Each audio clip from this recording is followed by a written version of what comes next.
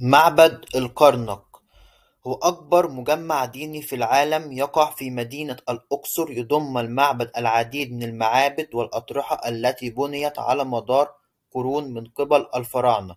ويقع معبد الكرنك في الأقصر في الجزء الشمالي التابع لمحافظة قنا في مصر وينحصر بين خطي عرض اتنين وتلاتين درجة وخمسة وأربعين وستة وتلاتين باتجاه الشرق ويصل مستوى ارتفاعه فوق سطح البحر إلى ثمانين متر تقريبا ويعتبر هذا المعبد مجمع عام ويضم ما لا يقل عن عشر معابد محاطة بسور ضخم.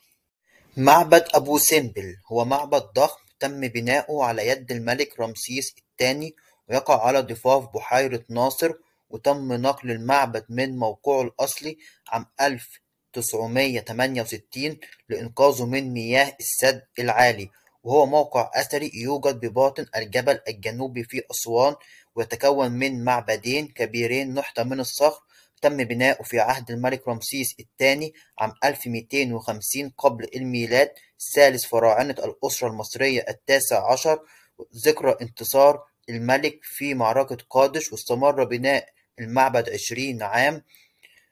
ويوجد معبدين يتكون من جزء أبو سمبل الكبير وأبو سمبل الصغير وتم بناء المعبد الأكبر المخصص لثلاث آلهة والمعبد الأصغر المخصص للإله حتحور التي تمثله نفرتي زوجة الملك رمسيس الأكثر حبا لقلبه.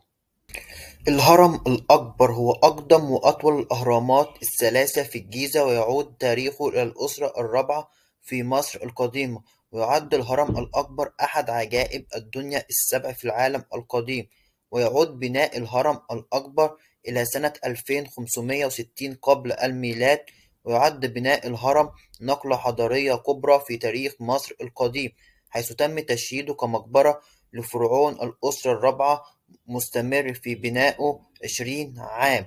أول من قام بفتح الهرم الأكبر وكان الخليفة مأمون وده كان سنة تمنمية وعشرين ميلادية لما وصل للخليفة. ارتفاع الهرم مية تسعة وأربعين متر زي ناطحة سحاب تمانية وأربعين دور واكتشف علماء المصريات إن في مصر مية وتمانية هرم مش موجود فيهم ولا موميا واحدة. وده بيشكك إن الأهرامات كانت بتستخدم مقابر للملوك خصوصا إن المصريين القدماء كانوا حريصين على إخفاء أماكن مقابرهم.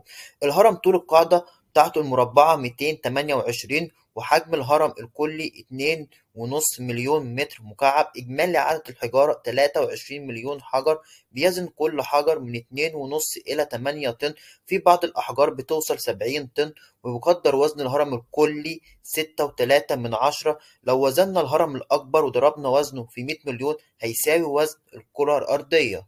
قلعة صلاح الدين هي قلعة تاريخية تقع في القاهرة بناها صلاح الدين الأيوبي في القرن الثاني عشر للدفاع عن المدينة وتم تشييد القلعة فوق جبل المقطم ومكان يعرف بقبة الهواء وأكمل بناء القلعة السلطان الكامل ابن العادل. فكان أول من سكنها هو الملك الكامل واتخذ مكانا للملك واستمر حتى عهد الخديوي إسماعيل. وتعتبر قلعة صلاح الدين بالقاهرة هي أفخم القلاع الحربية التي تم تشييدها في العصور الوسطى بسبب موقعها الاستراتيجي من الدرجة الأولى ويوفر لهذا الموقع أهمية دفاعية لأنه يسيطر على مدينة القاهرة والفوسفات التي كان يشكل حاجز طبيعي مرتفع عن المدينتين كما أن الموقع يمكن توفير الاتصال بين القلعة والمدينة في حالة الحصار وأنها سوف تصبح المعقل الأخير للاعتصام بها إذا سقطت المدينة في يد العدو.